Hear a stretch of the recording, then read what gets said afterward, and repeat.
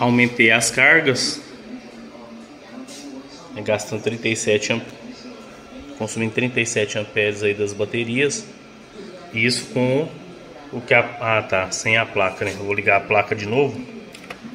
Vamos ver aí, vai cair um bocado, né? Então tá a lâmpada ali. A outra lâmpada, o ventilador lá no quarto. A TV e o notebook. Aí caiu para 23 amperes. Vamos começar a tirar as cargas. Tirar a lâmpada aqui.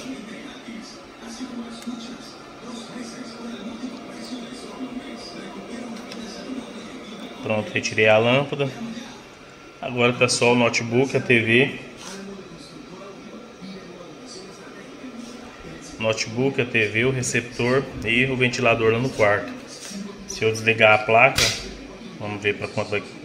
Aí 23 amperes. E agora o sol tá, tá o tempo tá parcialmente nublado, né? Tem hora que dá sol e tem hora que o sol esconde. Aí o sol tá retornando. Já já a gente vai ver caindo aqui novamente. Aí. O tempo tá um pouco instável, né?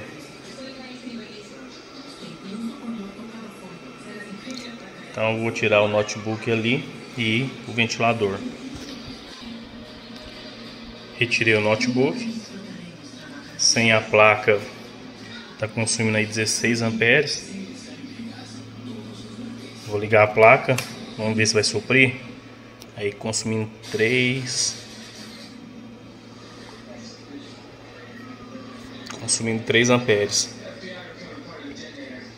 Vou retirar o ventilador, deixar só a TV e o receptor porque agora não tem necessidade de utilizar o ventilador. Pronto, pessoal, retirei o ventilador com a placa ligada. Hein?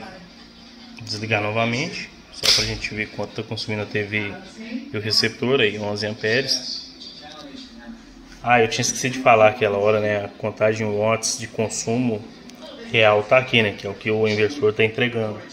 Que é medida aqui pela nossa sonda, pelo nosso toroide ali, que mede a, a corrente. Bom, pessoal.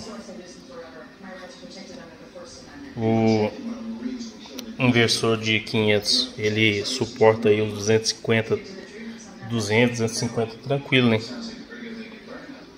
isso foi só um teste ligar a placa novamente que eu não quero drenar nada das baterias eu dou prioridade para manter as baterias carregadas e é isso aí. Mais um teste feito aí